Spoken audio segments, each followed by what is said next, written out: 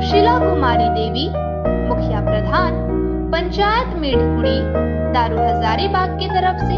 आप समस्त जिला वासियों एवं देशवासियों को तिहत्तरवे गणतंत्र दिवस की